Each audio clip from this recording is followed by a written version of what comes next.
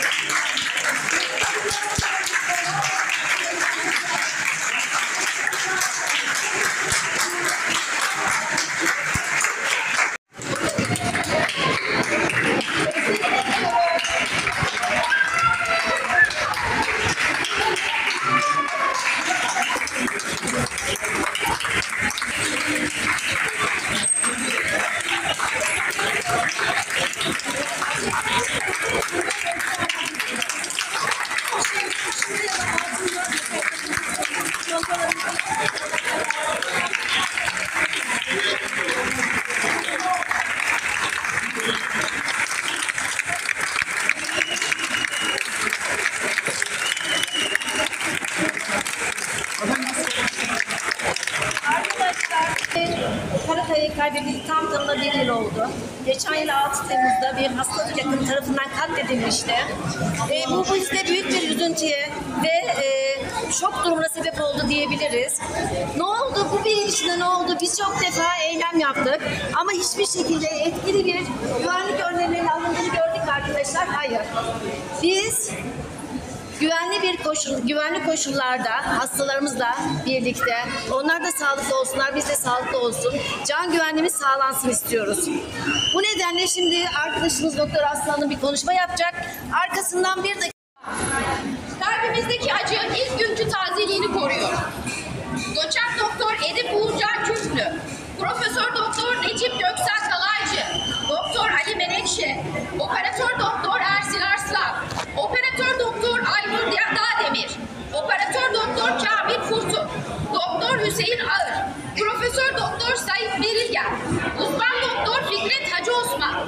Hemşire Ömür Erez Ağır, 2022'de kamu kurumlarında canice katledildiler.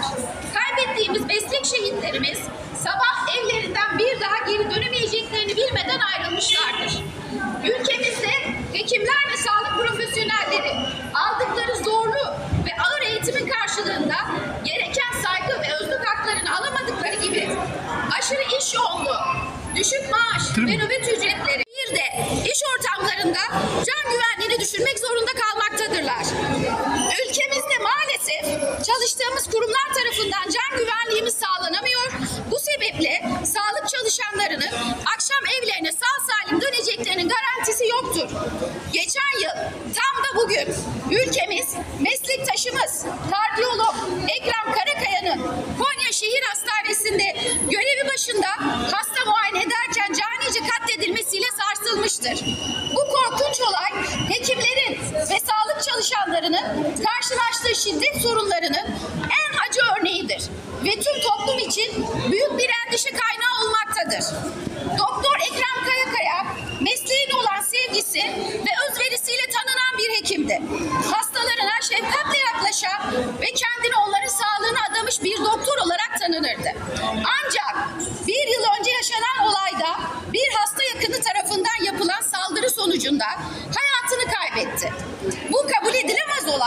hekimlerin ve sağlık profesyonellerinin güvenliğini ve sağlık hizmetlerinin kesintisiz sürdürülmesi açısından açıkça büyük bir tehdittir.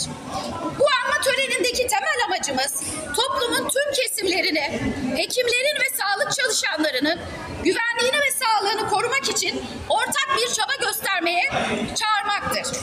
Hekimler ve sağlık profesyonelleri insan hayatını kurtarma ve iyileştirme misyonunu yerine getirmek için gece gündüz çalışmaktadırlar. Kendimizi güvende hissetmek ve mesleğimizi güvenle icra etmek en temel hakkımızdır. Bu vesileyle olayın yıl dönümünde Doktor Ekrem Kaya'yı, Karakaya'yı bir kez daha saygı ve rahmetle anarken şiddetin her türlüsüne sıfır tolerans ilkesinin benimsenmesini talep ediyoruz.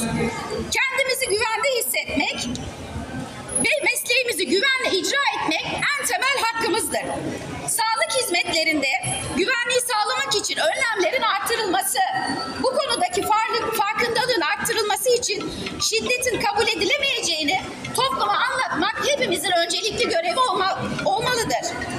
Caydırıcı ve etkin yasal önlemler hem siyasiler hem de basın tarafından şiddeti kınayan ve affedilmeyeceğini vurgulayan söylemler ile mevcut yasaların etkili şekilde uygulanmasının